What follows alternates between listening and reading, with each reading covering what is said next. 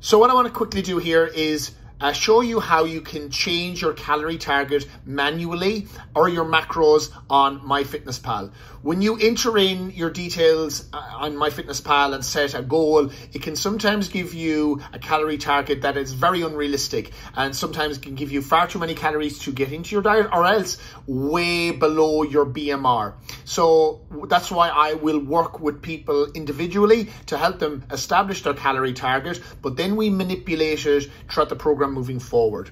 So to once once you're set up with MyFitnessPal, um, when I give you your calorie target, this is the screen I want you to go into. You'll see at the very top here where your calories are. I will get you to press the green calories. You'll see three screens here. You'll see your calories, nutrients, and macros. Now you'll see percentages there. I go back to calories and then scroll down to the bottom here where you see goal. And for my calorie target is 3,800. Now let's say I want to change that to 3,500. I'll just select the number and it'll bring you into this screen where you can manipulate the calories and the percentage of um, macros that you want. So I will just select the calories at the top. I will delete and type in 3,500, hit the tick button, and that's saved. So I'll back out.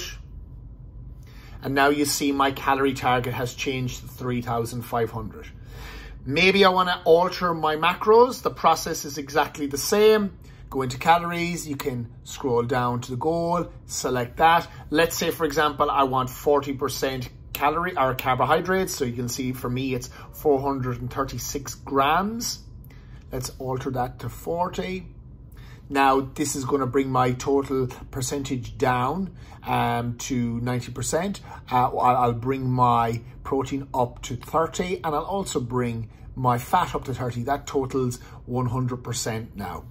Then I'll hit the tick button again and you can see here how everything changes. The 40% now brings my carbohydrate level down to 350 grams. Back it up.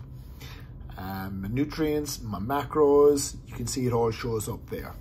Okay, so that is the simplest way to manually alter or adjust your calorie target or your macros. Giddy up.